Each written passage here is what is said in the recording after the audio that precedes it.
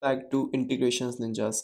In this video, I will walk you through how to securely connect your GitHub Actions workflows to your AWS account using OIDC or OpenID Connect. The best part, you don't need to store AWS access keys or secrets in your GitHub repo anymore. Instead, we will be using a modern secure token-based authentication flow between GitHub and AWS and you will see exactly how it works step by step. So what exactly is OIDC in this context? OIDC or OpenID Connect is a secure identity protocol that lets GitHub Actions authenticate with AWS without needing long-term access keys. Here's how it works just like in this diagram. When a GitHub Actions workflow runs, it requests an OIDC token from GitHub's OIDC provider. GitHub returns a signed token which includes identity claims like the repository name, branch, and environment. The workflow then sends the token to AWS STS asking to assume a specific IAM role. AWS STS validates the token against the trust policy of the IAM role, checking if the claim match what's allowed, for example, specific repo or branch. If everything checks out, STS issues temporary AWS credentials back to workflow. Finally, the GitHub job uses these credentials to access AWS services like S3, ECR, or Lambda, but only within the permissions granted by the IAM role. And the best part, this entire process is secure, short-lived, and secret-free. No static keys involved, and the credentials automatically expire after the job ends. Okay, so let's try a hands-on for that we need to set up our aws account. So what we are going to do let's create a aws iam user first. Okay. Let me click on user. I will create a user. So give me i will give a name as github action user.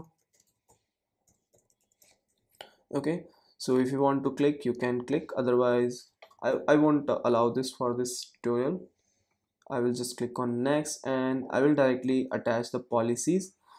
For the sake of video tutorial purpose I'm just gonna add a admin administrator access policy.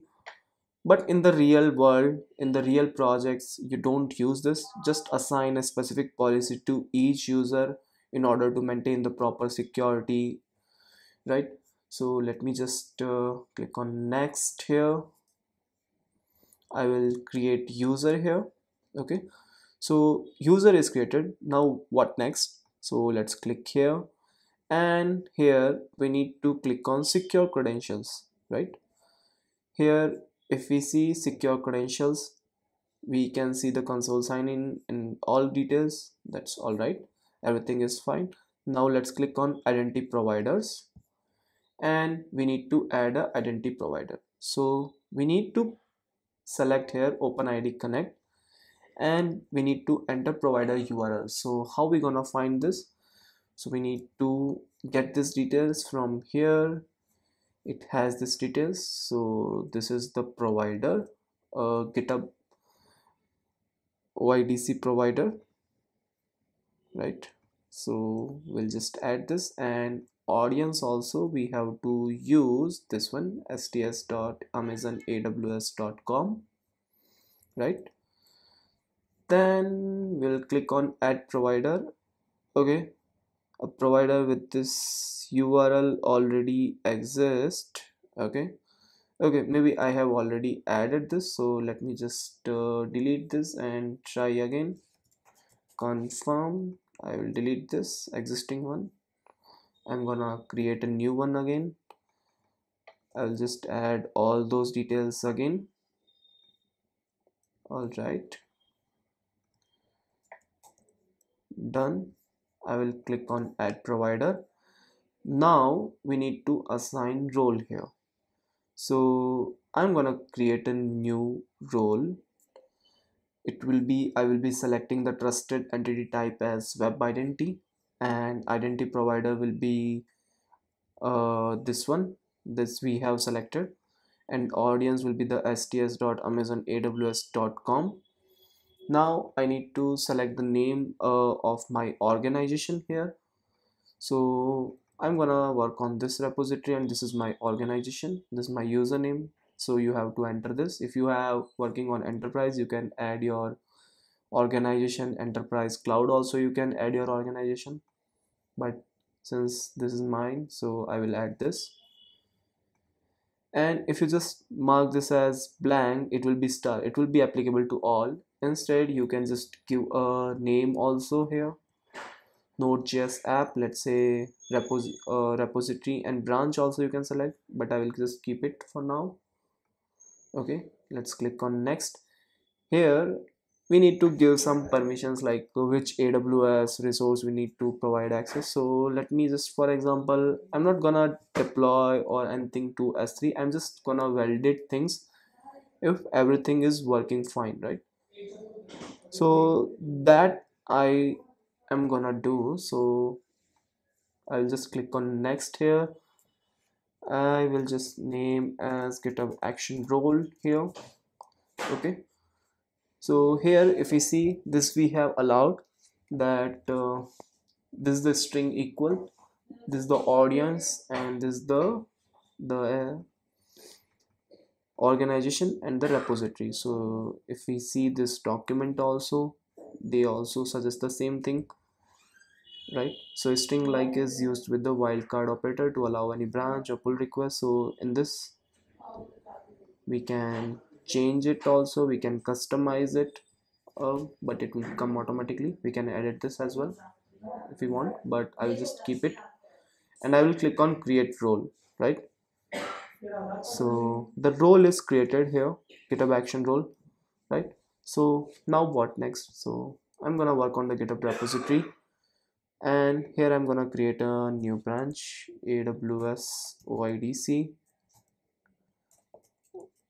AWS OIDC let it be OIDC test okay.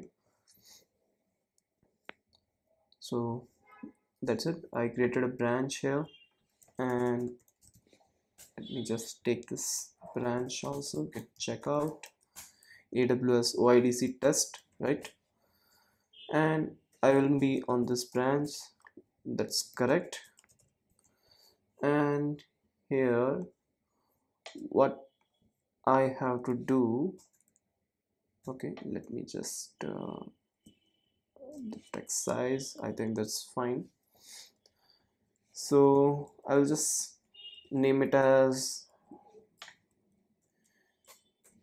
uh, workflow name as github aws oidc right? And when it should be triggered uh, i have created this branch right? So this branch only i want this workload to be triggered. You can select any specific rule if you have but for this tutorial i'm gonna add this rule that this will be triggered only on this branch when i will commit something okay? So here the job name is this one so I can change it to OIDC test something okay. And it will be running on the Ubuntu latest right? And here are the some actions. Check out source. This is fine. And the next here we don't want all of this.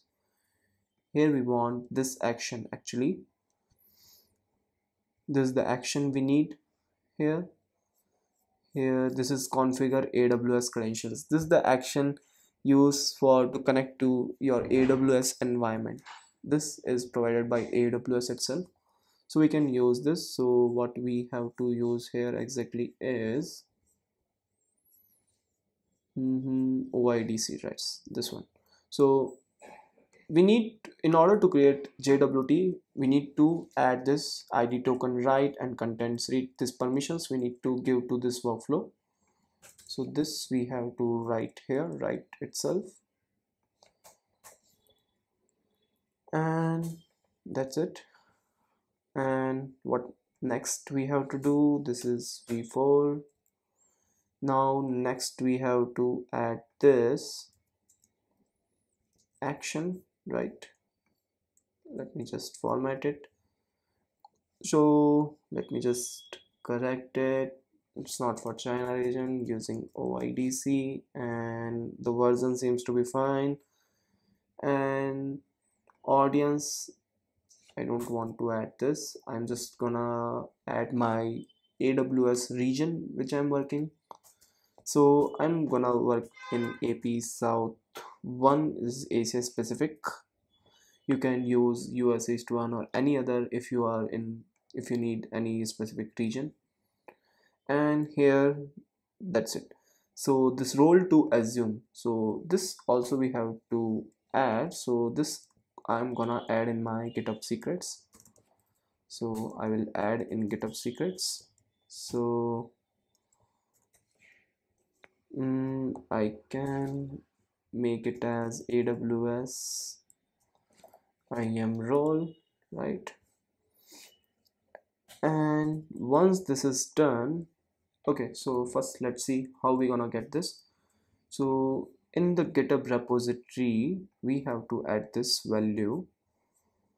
How you gonna add this? Go to secrets and variables and then the actions. Here you can create a new repository secrets with this role i have already created. So i'm gonna update this value here. So here this is my role.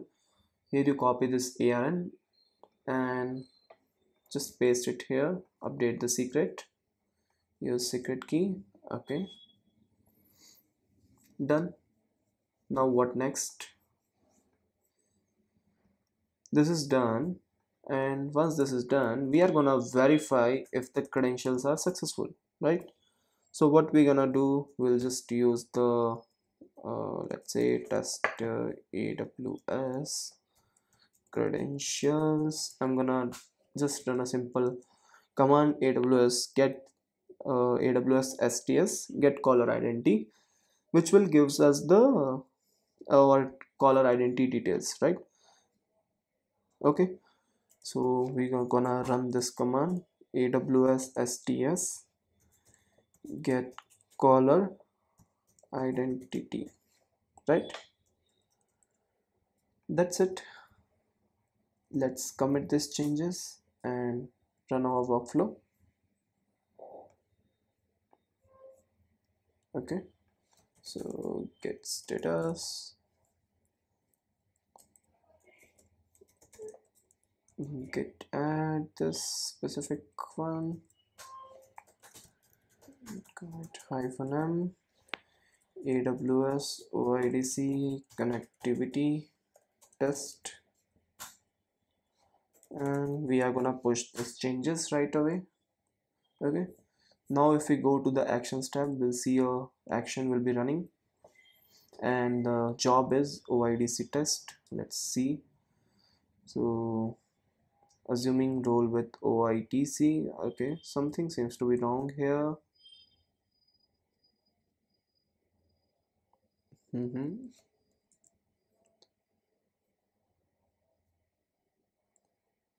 zooming role with OIDC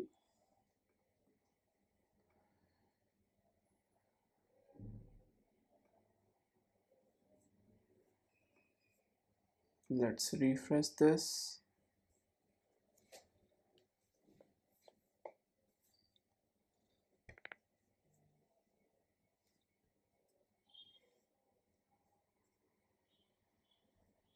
Hmm, something seems to be wrong with this actually.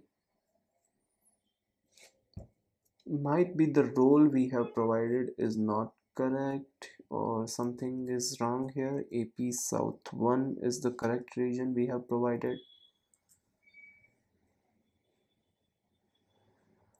Okay. Let's wait for a minute or we'll cancel this and again we'll go to the role this is correct this is our role policies roles GitHub action.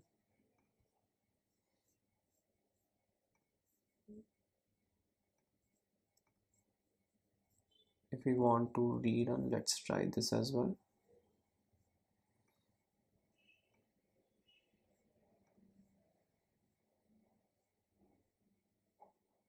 No something is wrong with this. This is keep repeating. Hmm. So it does return with error. Okay so we have canceled this. So let's go to secrets and see if that is stored correctly. Actions. Aws IAM role. Okay so sorry this role is not updated. Even we have updated this. Now if we see this is updated right? So it was don't know why this was picking the by default that value. So now if we retrigger this this will work. So we haven't done anything wrong just the value was not updated correctly. Now it should work properly. Let's see. Yes so we can see here is everything is working fine here. So we can see this uh, action run and with this particular role and it is authenticated as this particular role id and when we ran this command it provided us this user id and provide the user details and the account details and the arn this is the amazon resource name that we have copied. That is the correct information.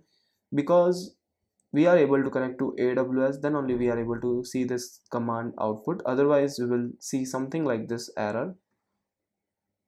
Okay so in those cases we will see that uh, your credentials are not there you need to configure the aws account right? So once that is success only then only you will be able to see this caller identity details so that we have added this step here right? So this is the very basic step that we have to follow to connect to github right? So that's it. You have successfully connected github actions to aws using oidc we authenticated securely without storing any AWS secrets or access keys and used temporary credentials issued dynamically during the workflow. This setup not only simplifies your CI CD pipeline, it also allows best practices for cloud security. If you found this helpful, be sure to give the video a thumbs up and subscribe to Integrations Ninjas for more hands-on DevOps content Got any questions or want to see this tied into a real deployment? Drop a comment below. I would love to hear from you. Thanks you for watching and I will see you in the next video. Thank you.